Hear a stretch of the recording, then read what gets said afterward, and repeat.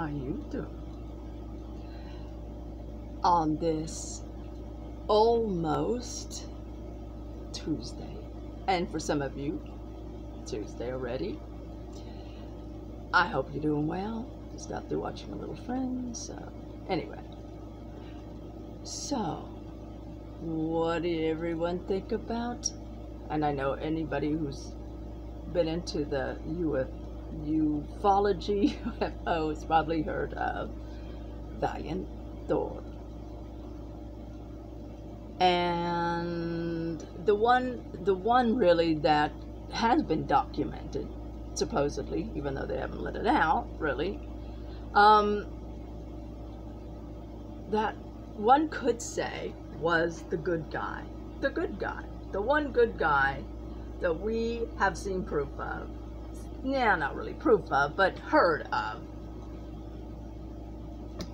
And they won't give us any info on it. Huh?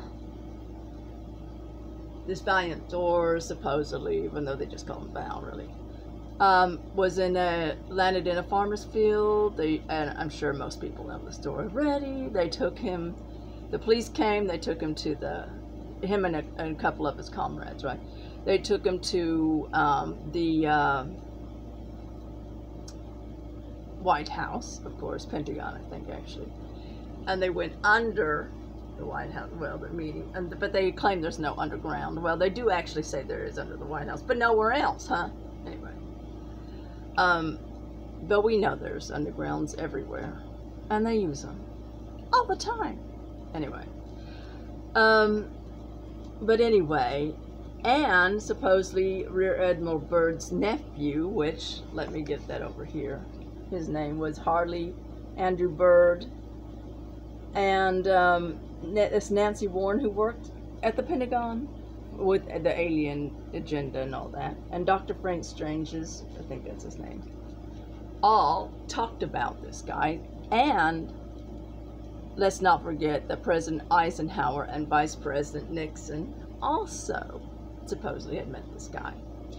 And, um, but of course, and, and, uh, but of course, uh, actually, I have to say, in his defense, President Eisenhower actually did want to actually tell the world about this guy. But his, all the council and everyone, they vetoed him. It wasn't like they just said, you really shouldn't. They vetoed him. Why should you? I think it's weird that we uh, have, that they have that where people can, you know, if you're a president, you should be, it should mean something. I mean, I know they, they're doing that so because they don't want a dictator, right? I get it. But at the same time, when it comes down to that, I think he should be allowed to, you know, tell everyone. Can you imagine if they would, because this happened March 16, 1957, could you imagine if they would have told the world back then and we would know about these things? What a different world would that be? and that's if it's true and but i believe it more than i don't. Can you imagine what how different this world would be? I mean if they would tell about that they uh, we would know we probably have documents and proof about a whole lot of other things as well. I do believe that president eisenhower was one of the few who really did want to get all this stuff out there I think it would have been cool to live in the President Eisenhower uh, era. I don't know. Maybe. But, um, yeah, they didn't want the. Val didn't come there to help with the the agenda of wars and, and everything. He was actually doing the opposite of that. He wanted peace, love, and light. And as we know, they don't like people like that because it doesn't add anything to them, doesn't give them technologies to take down uh, someone else or so they want more people like the reptilians. So she didn't say that, did she? Yes, she did. Reptilians. Now, when I first heard about the reptilians back and all the way back in 1997, I rolled my eyes. I said, no way could there be a reptilian. It just sounds too too phony, baloney. By the way, before I get into the reptilian thing, I did want to say that where was that at? Oh, by the way, he landed in Virginia. But that I think most people know that that supposedly he came from this Val Thor came from that he claims Venus. And for the people who say, oh, how could that be possible? First of all, nobody's been to Venus. Nobody really knows how Venus is. The scientists over here, blah, blah, blah, blah. They never been there. That being said, he supposedly said they live underground. And that a lot of people in the solar systems and the universe sometimes live underground. But I also say, I don't think he was all 3D. I mean, he was physical, but I think that he also sort of had, you know, because sometimes they said he appeared and disappeared to places. So, either that or he had the technology to do that. I don't know. But anyway. But, supposedly, I wanted to read this little part. He had copper oxide blood, an IQ of about 1200. He could speak 100 languages, including, of course, alien. His lifespan also was about 490 years, which, of course, some of them out there supposedly live to a thousand years, but I, I, I could I could live 490 years. That is, if everyone I knew and loved could all would also live that long.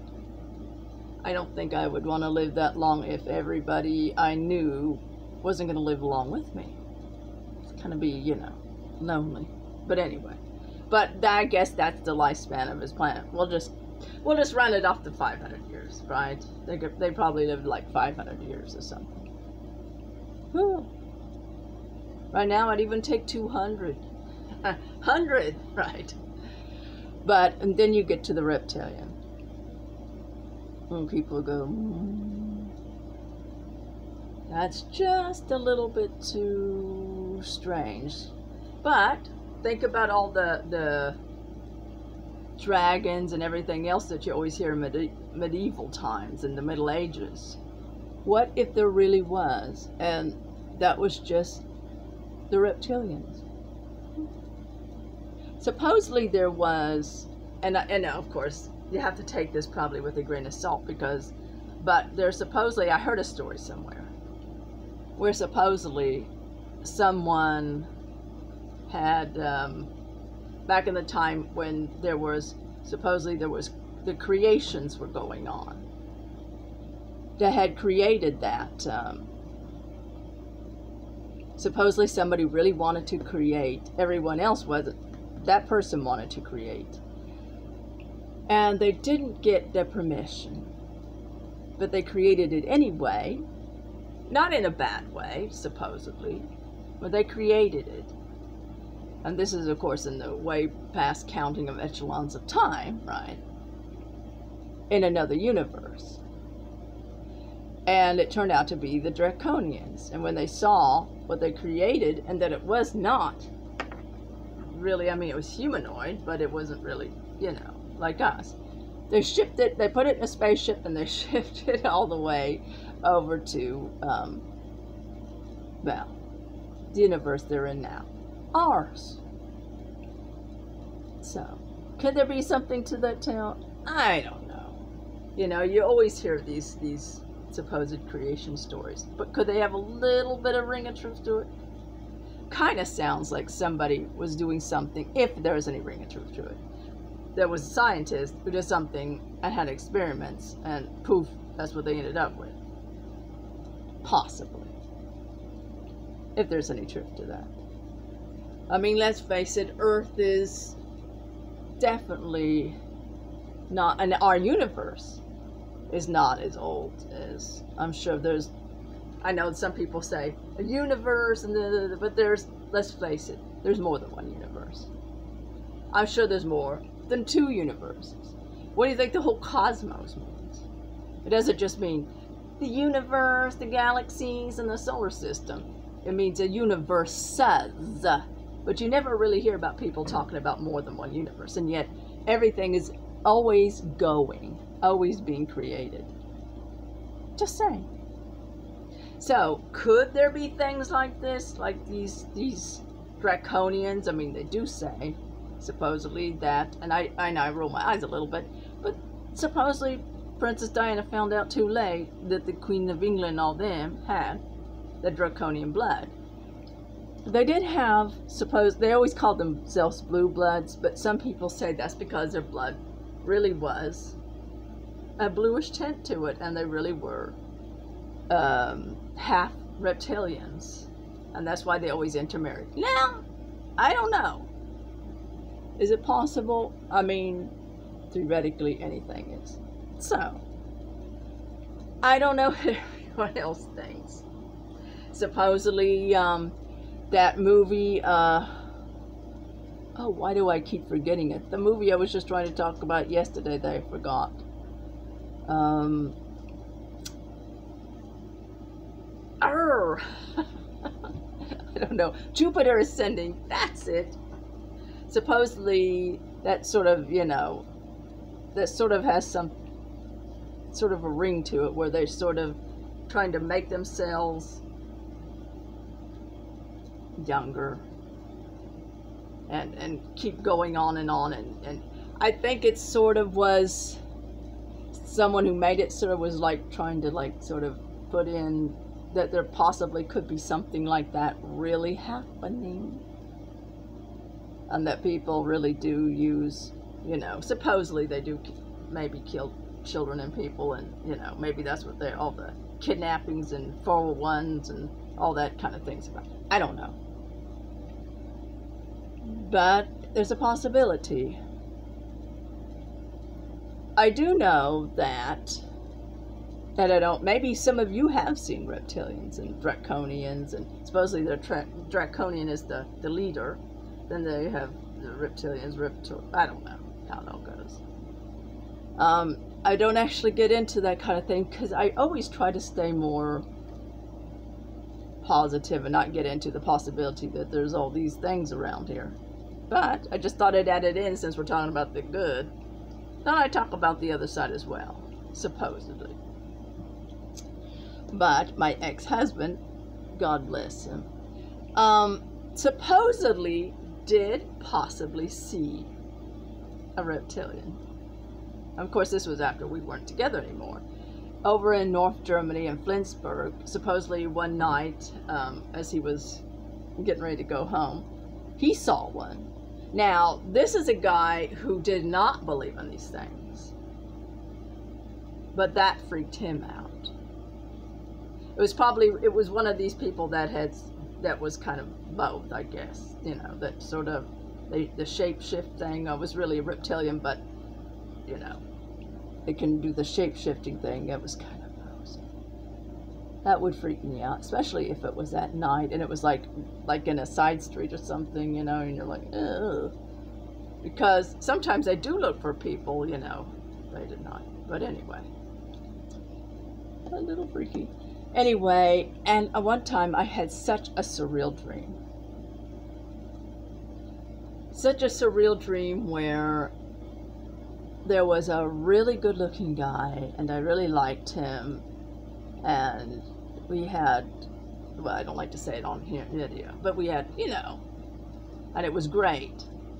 And then I found out that he was a reptilian and he was still kind of trying to you know like like he was trying to you know hypnotize me and even after I found out it was a reptilian I didn't care. He thought that was funny too. I did not care. I still wanted him.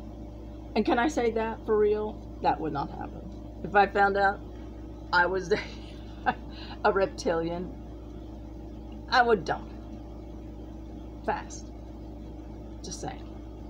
But that kind of freaked me out when I woke up and I was thinking, oh my god, in my dream I still wanted him, even after I knew he was a reptilian. That would not happen for real.